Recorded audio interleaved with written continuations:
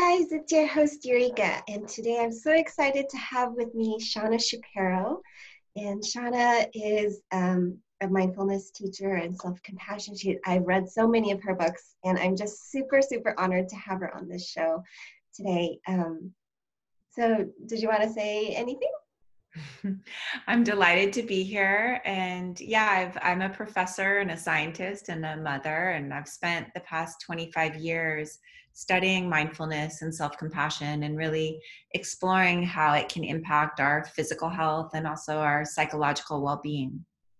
Yeah, so um, thank you so much for sharing. Because this um, this series is on self love, I was you know, and I know you because I read a lot of your books and listened to a lot of your videos, but I was wondering if you could share a little bit about your story and your struggle with with self-love. Yeah. So um, I was introduced to mindfulness when I was a teenager. I actually um, I had spinal fusion surgery. So when I was 17 years old, I went from this very active, healthy teenager to lying in a hospital bed, unable to walk. And it was really during that surgery and during the many months of rehabilitation in a hospital bed that I discovered mindfulness because I really just didn't have the tools to cope. And mindfulness kind of gave me this path forward and this possibility that I could be happy again. And so as I began to heal, I ended up going to Thailand and Nepal and learning more about mindfulness in the monasteries and, and practicing meditation.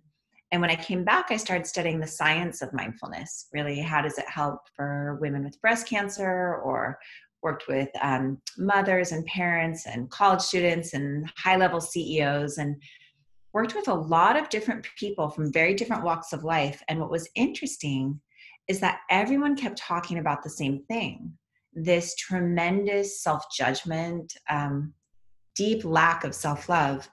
And I knew exactly what they were talking about because I felt that too. This this kind of constant sense of I'm not good enough, I'm not doing it right.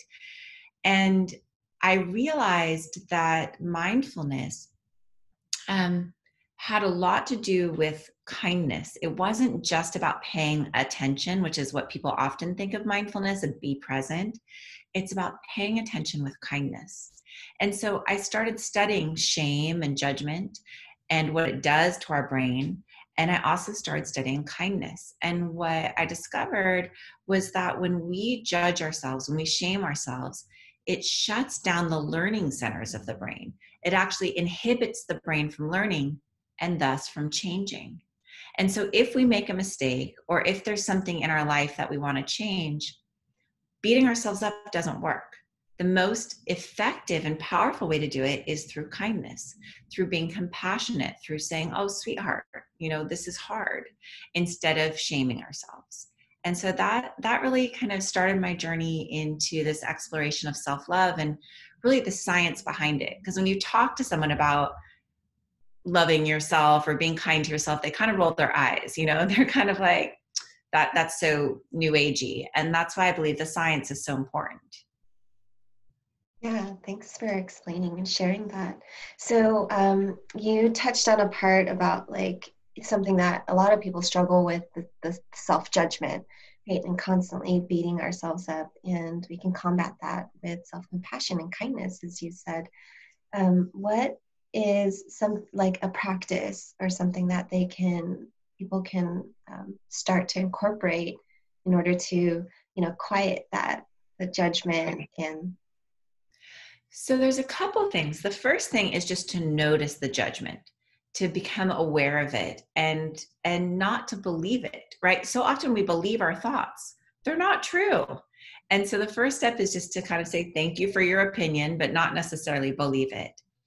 The other practice that I think is really important is to actually actively cultivate self-kindness. So one is to become aware of the judgment, but the other is to grow your your care for yourself and I discovered this practice when I was going through a very difficult time in my life. Um, I was getting divorced and it was very painful. We had a three year old child who we both loved, and it was a very hard time. And I remember waking up every morning with this kind of pit in my stomach like, I've messed up my own life, I've messed up my son's life. And my meditation teacher suggested I start practicing more compassion, more kindness. And she said, I want you to say, I love you, Shauna, every day when you wake up. Mm-hmm. And I was like, no way. you know, it just felt so contrived and so inauthentic. And so she saw my hesitation. She said, How about just saying good morning, Shauna? And she said, Try putting your hand on your heart when you say it. It releases oxytocin. It's, it's good for you. she knew the science would win me over. So the next morning I woke up, I put my hand on my heart, took a breath, and I said, Good morning, Shauna. And it was kind of nice, right? Instead of the judgment and the shame, there was this flash of kindness. And I kept practicing and I practiced for a few weeks. And then I remember one morning, it was my birthday, and I was completely alone. It was the first time I didn't have my husband or my son with me. And I woke up and I put my hand on my heart to do my good morning practice. And this image of my grandmother came to my mind. And before I knew it, I said, Good morning. I love you, Shauna. Happy birthday. And it was as if the dam around my heart broke. And I could feel my grandmother's love and my mother's love and my own self love. And, you know, I wish I could say that every day since then has been this miracle of self love and I never feel judgment again. And that's not true. But what is true is this pathway of kindness was established. And it continues to grow. What we've learned is whatever you practice grows stronger, right? That's the foundational teaching of neuroplasticity. And so our repeated thoughts and emotions shape our brain. And so we want to be mindful. We want to choose what we practice. Yeah, thank you for sharing that. Um, I think that was so beautiful. The um, the pathway, the kind, the pathway of kindness, and just like you know, as like one of our other speakers talked, Rick Hanson talked about, is like really strengthening those neural pathways.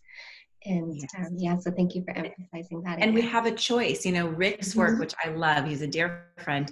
He focuses on positive neuroplasticity because neuroplasticity shows that that we can change and shape our brain based on practice. But if you're practicing judgment and anger, you're growing pathways of judgment and anger. So neuroplasticity is not necessarily good, right?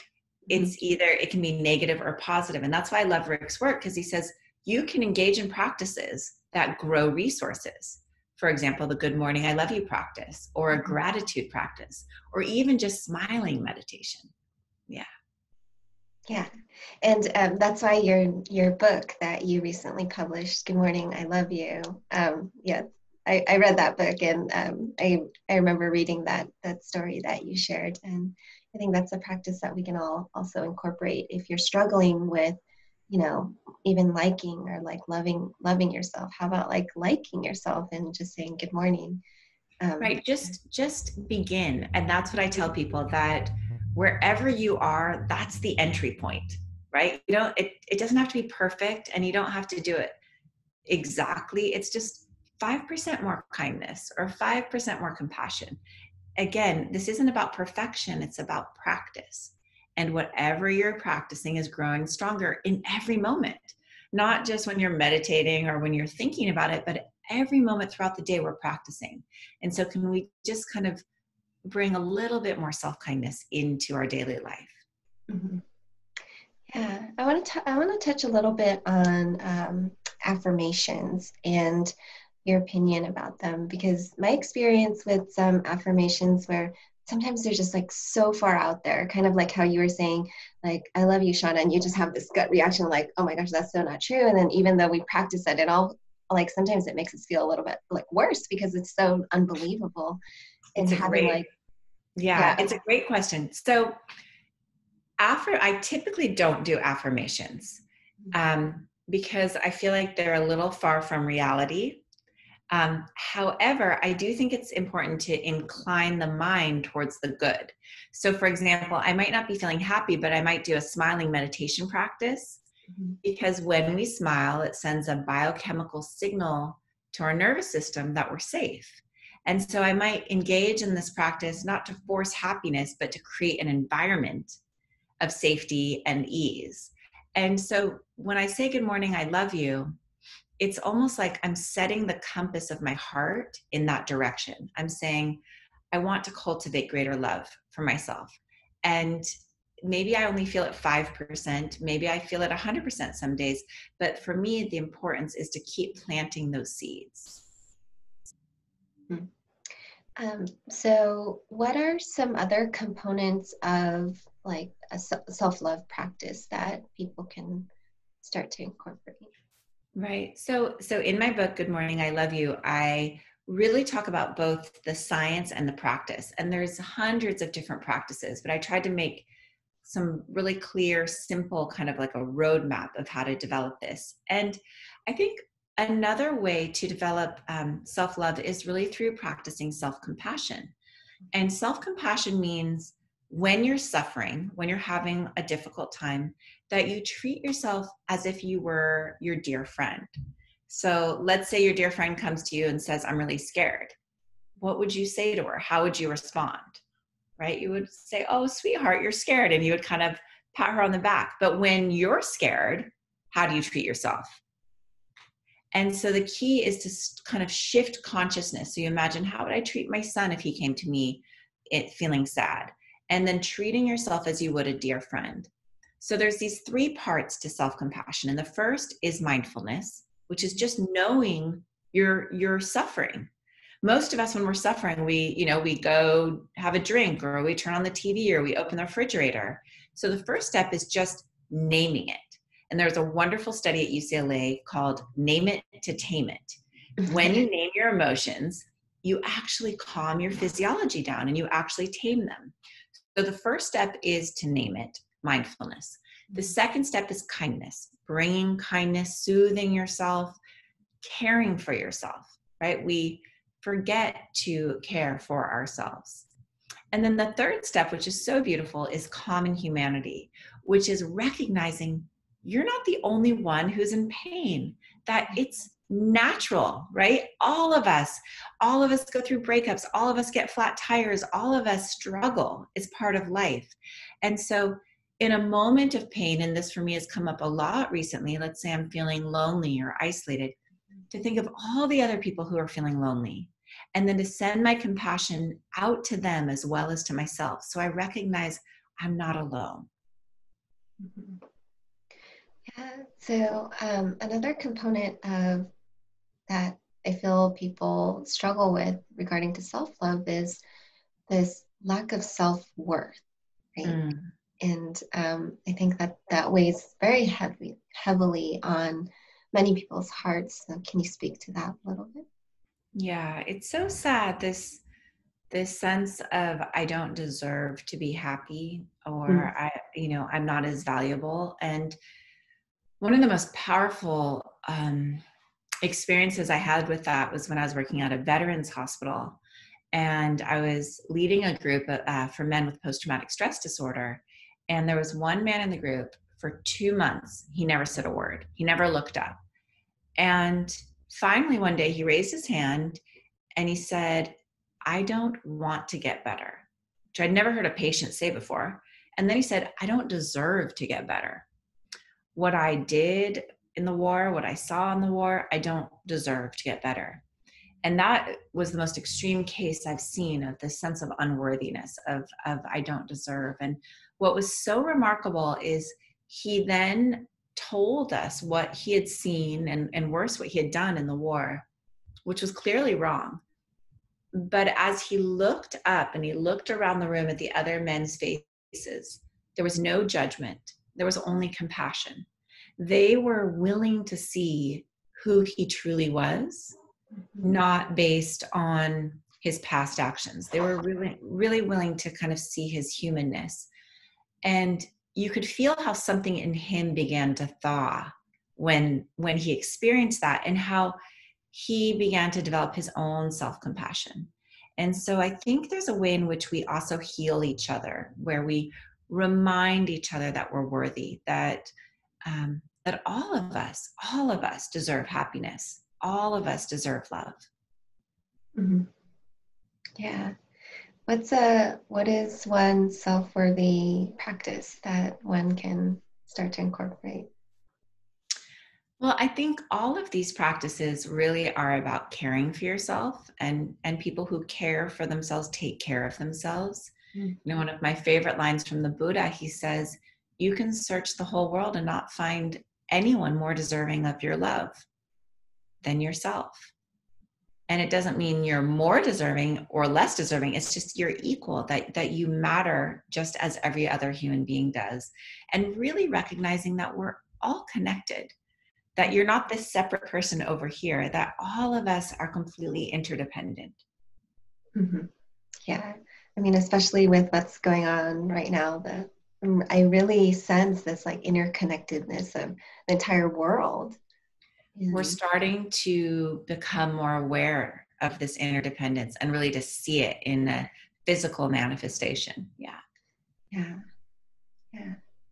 Um, I want to touch a little bit on self forgiveness too, because well, you know, these are it's these things are all components of self love, and um, but you know i'm just i'm just thinking like and some people have reported to me or my clients would talk about you know some like you were sharing like something in the past that they just they can't forgive themselves for yeah. and um, like how people struggle with that. Yeah. So in my book i have a whole chapter on forgiveness because i think it's so important. And what I found is it's a practice. It's not like you all of a sudden are like, I forgive myself. it's a practice of self forgiveness. And how I typically practice forgiveness, first of all, is to help people understand it doesn't mean that you agree with or condone a behavior.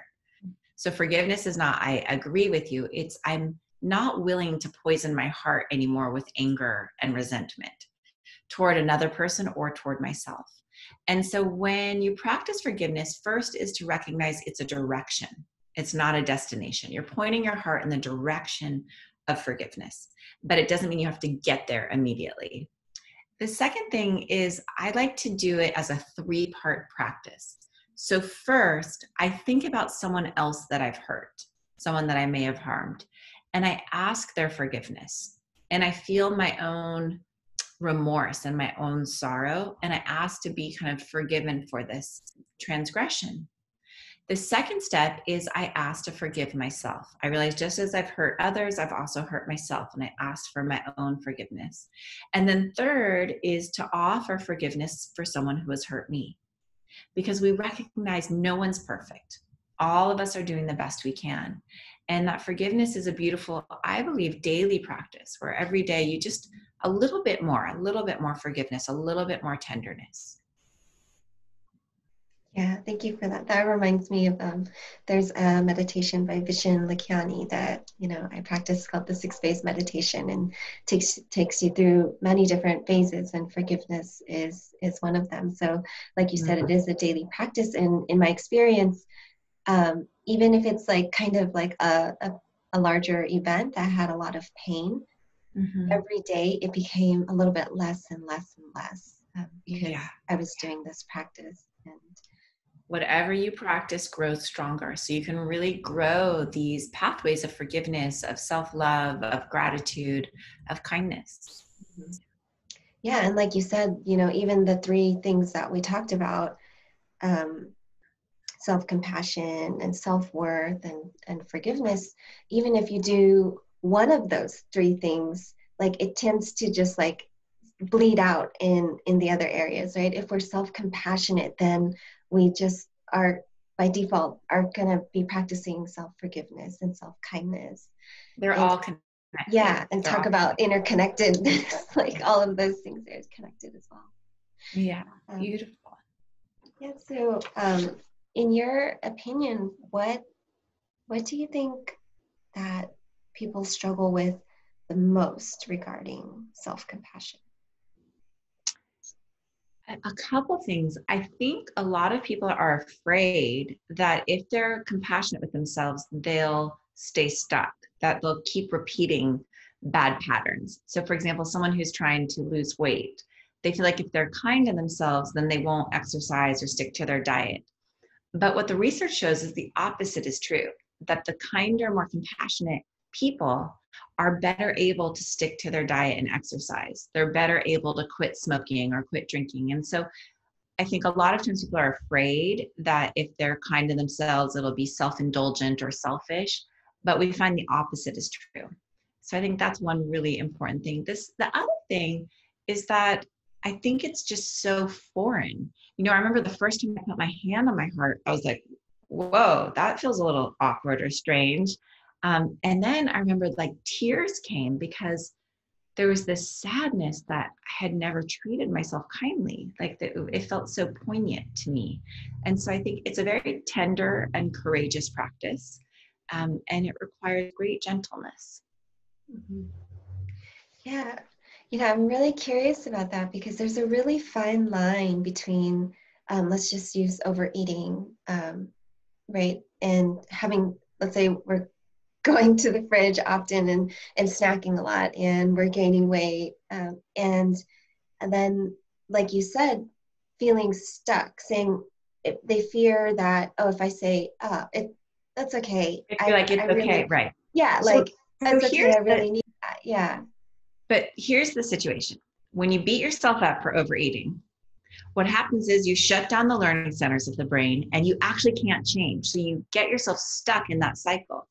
When you bring self compassion, then it gives you the courage to say, why am I going to the refrigerator again and snacking? And you can start to bring your mindfulness to unwind the pathways, the patterns, so that you can actually make a choice. Oh, sweetheart, you're just feeling lonely right now, and you can redirect. So, mm-hmm. self compassion actually gives you more choice and control than you would expect. Yeah, and definitely, like as you were sharing that, I'm like, oh, mindfulness, because it takes one second to be like, oh, yeah, why am I going to the fridge, or right. what am I feeling where I need to, you know, consume, whether that's shopping or TV or food, and exactly. um, yeah, take take a step back and then make make a different choice and i think that's really the key is, is behind the science it's why i think i love the science so much is people are sometimes like it's counterintuitive like it's counterintuitive that self-compassion would help you be more productive or help you lose weight. And yet what the science shows is it does. And i think that gives people permission to then try to practice themselves. And i think you know what i want to close with and what i think is most important is that people realize it's never too late to change. That no matter what mistakes you've made, no matter what has happened to you, all of us have the capacity to rewire our brain in every single moment. And that for me is the most comforting thing that it's never too late. Yeah, thank you. So, for everybody watching, if you haven't already read Shauna Shapiro's book, Good Morning, I Love You, definitely recommend it, as well as many of her other books. Um, I think I've also read The Science of Mindfulness and Self Compassion, which um, I really enjoyed as. So mm-hmm. thank you again, Shauna, for your thank time. You so really much. appreciate it. Yeah, thank you for doing this important work.